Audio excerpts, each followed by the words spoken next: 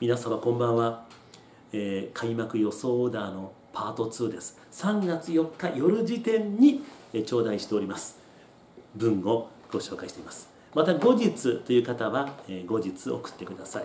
なんかもういつも送ってくださる美坊六さんとか山っちょさんとか秀99さんなんかに限ってね、えー熟考するというね、えー考えても変わんないよあんまり。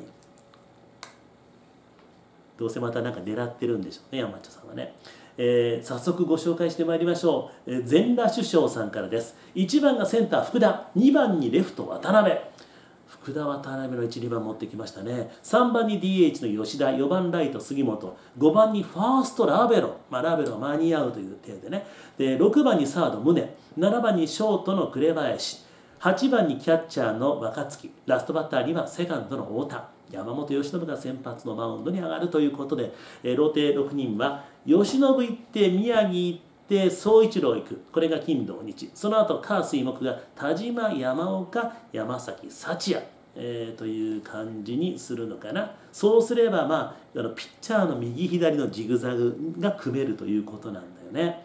なるほど。そうか、えーラベロをファーストに持ってくるというね、えことでもやっぱりこのお全裸師匠さんも、太田君と紅林君の二遊間の開幕を予想されています。ねなるほどね。えーそれから和樹さんです。1番センター福田2番 DH の正隆。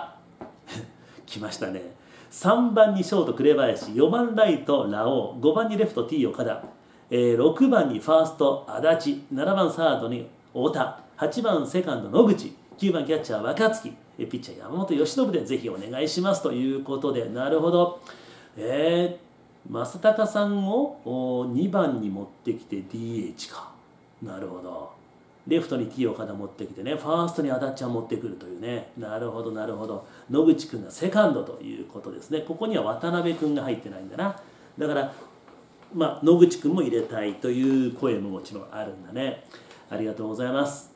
ぜひお願いいたしますという、えー監督に言ってください、えーパニッシュメントさんです、えー大前さんお疲れ様です。開幕オーダーですが1番にレフト福田2番サード宗3番 DH 吉田正尚4番にはライトの杉本5番ファースト T 岡田6番にショート紅林7番センター渡辺8番キャッチャー伏見ラストバッターセカンド野口といったオーダーで。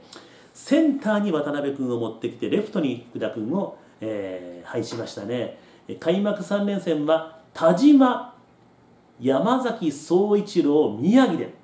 田島君を開幕戦に持ってきましたか。宮城君じゃなくて、えー打線は昨年同様ジグザグにこだわりました。思い切ってルーキー起用してセカンドは太田野口のメインで足立を休ませながら行きたいですね。ということ。渡辺はレフトよりもセンターの方が守備範囲の広さを生かせそうですしコンタクト率があるので9番より打順を上げてランナーを返して追加点を取る打力に期待したいと思います。ということですね。渡辺君をレフトね、えーなるほど。いいですね。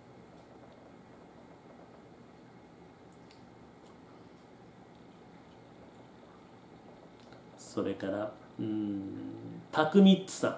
タクミッツさん。なんだろう。万全にいけるのであれば1番センター福田2番サード宗3番 DH 正隆4番ライトラオウ5番ショートに紅林6番セカンド太田7番ファースト T さんかラベロ8番キャッチャートライさんかケンケン9番レフト渡辺かな。大前さんこのメンバーどうですかねって。このなんか布陣が多いね。あの皆さんの今のところの現状ね。でまあこれは今キャンプからオープン戦の前半、えーをご覧になって3月4日の夜の時点なんででもその現状で見るならばすごく現実的だと僕は思うし十分あり得るのかなと思いますね、えーいいな、えー、安直さんです。えー宗と吉田と T が万全ならばという予想で組んでくださいました。1番にセンター福田2番サード宗3番レフトに吉田。ああ正尚君守らせますね、えーそして4番にライトのラオウ5番にショートの紅林。6番セカンド安達。7番ファーストの T 岡田。8番 DH の太田。9番がキャッチャーの伏見ということで先発ローテーションは山本竹安宮城ときてで田島総一郎幸也ということで。DH の使い方が予想オーダーのポイントのような気がしますね、えー、誰が入るかによって随分オーダー変わりそうですということで、えー、アンナオさんはその DH に使ってくださったのが8番に太田を持ってきたっていうね。なるほどね。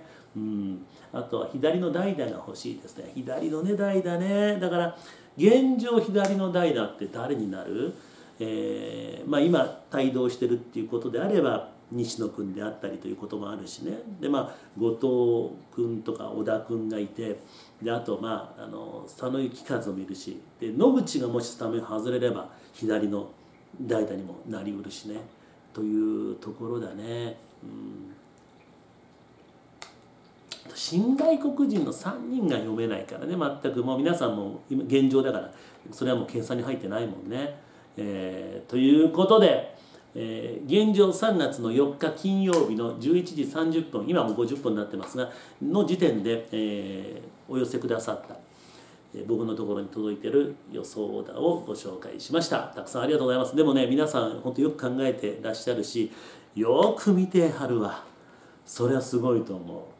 オリックスファンってやっぱり濃いよね、うん、なのでよく野球ご存知の方が多いなって僕らも勉強させてもらいますもんね。え、谷健さんもカズナーの皆さんの予想を聞くのめっちゃ面白いですね。おおそうきたかという新しい発見もありますということで本当そうだね。僕もあの Me too. I think そうです。えー、美貌録さんです。昨日はワクチンの接種3回目の副反応でなかなかしんどい思いをしました。なんかあの3回目なんか結構きつい人いるみたいね。僕は去年10月の12日が2回目だったんでまだ3回目もまだなんですけどもね。届いてませんけども。えー、39度台の熱発熱微暴録さ。ん両脇にピンポン玉を挟んでいるような腫れ。食欲不振。結構しんどかったです。しかしこれで抗体もパワーアップしたと思いますしホームでのオープン戦楽しみに待ちたいと存じます。ということで。もう治ったんですか？大丈夫ですか？えー、なんかそれ聞くと嫌だな。でも、まあ、1日2日で治るんだったらいいんだけどもね。えー、というわけで、うん、あのー山町さんもねオープン戦期間中オーダー考えて、えカズナーの皆さんとワイワイやるのが楽しいです、え固定観念振り払って私も考えてみますということでありがとうございます。というわけで、えー、今日はですね現時点で届いています。皆様からの、開幕予想オーダーをまとめてお伝えしました。もうたくさんのメッセージ本当ありがとうございました。また明日あのお寄せくださった方の中でご紹介していきたいなと思いますしいろんなメッセージがあればどんどんください。で明日はベイスターズ戦ですね、えー、というわけで。で僕はとりあえず昼間は、え、朝早く起きて12時からのラグビーの、実況して明日は NTT ドコモレッドハリケーンズ大阪対埼玉ワイルドナイツの一戦というね、え、試合を実況してまいります。明日はラグビーラグビー親父になりますからね、えー、というわけで今夜も最後までご視聴ありがとうございました。これアップして僕も寝ますから。えー、今夜も最後までご視聴ありがとうございました。皆様良い週末を。